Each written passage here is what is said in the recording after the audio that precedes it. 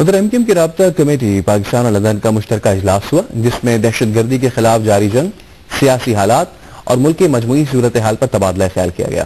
متحدہ کے قائد الطاف حسین نے اجلاس میں پیش کی جانے والی اس سے تجویز سے اتفاق کیا کہ ریٹائرڈ فوجی افسران پر مشتمل ایک ایڈوائزری کمیٹی تشکیل دی جائے، جو دہشت گردی کے خلاف جنگ کو کامیابی کے ساتھ آگے بڑھانے کے لیے اعلیٰ فوجی حکام کو اپنی سفارشات بھیجے۔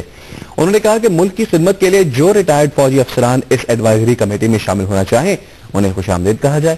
الطاف حسین نے کہا کہ ملک کی سلامتی کے لیے مسلح افواج جب بھی پکار لاکھوں رضاکار اپنی خدمات پیش کرنے کے لیے حاضر ہوں گے۔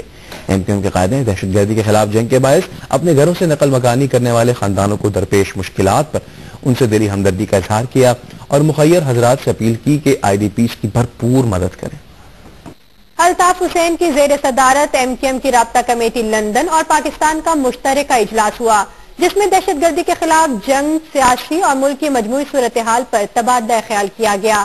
لندن میں ہونے والی مشترکہ اجلاس میں الطاف حسین نے ملک بھر میں رکنیت سازی مہم کی تفصیلات معلوم کی اور ارکان کی جانب سے ریٹائرڈ فوجی افسران پر مشتمل ایڈوائزری کمیٹی تشکیل دینے کی تجویز پر بھی اتفاق کیا۔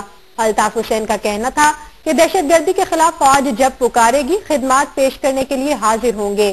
ایم کے ایم کے قائد کا مزید کہنا تھا کہ انگنت مشکلات کے شکار آئی ڈی پیز کی مدد کے لیے مخیر حضرات آگے آئیں ایم کیو ایم کی رابطہ کمیٹی لندن اور پاکستان کا مشترکہ اجلاس ہوا، جس سے خطاب کرتے ہوئے الطاف حسین نے کہا کہ ملک کے لیے فوج جب پکارے گی، ایک لمحہ بھی ضائع نہیں کریں گے۔ ایم کیو ایم کے رابطہ کمیٹی لندن اور پاکستان کے مشترکہ اجلاس میں ملک میں جاری دہشت گردی کے خلاف جنگ، آئی ڈی پیز اور ملک کی مجموعی صورتحال پر تفصیلی غور کیا گیا۔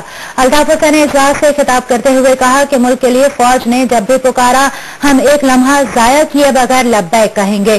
انہوں نے کہا کہ دہشت گردی کے خلاف جنگ کی وجہ سے بے گھر ہونے والے متاثرین شدید مشکلات کا شکار ہیں۔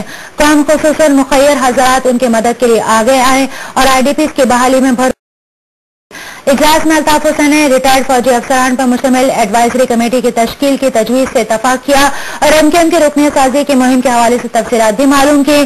اجلاس میں فیصلہ کیا گیا کہ رابطہ کمیٹی دہشت گردی کے خلاف جنگ کے حوالے سے تجاویز فوجی قیادت کو بھجوائے گی۔ لندن کا مشترکہ اجلاس ہوا ہے۔ دہشت گردی کے خلاف جنگ اور ملک کی مجموعی صورتحال پر تبادلہ خیال بھی کیا گیا۔ الطاف حسین کا کہنا ہے کہ ملک جب بھی پکارے گی، ایک لمحہ بھی ضائع نہیں کریں گے۔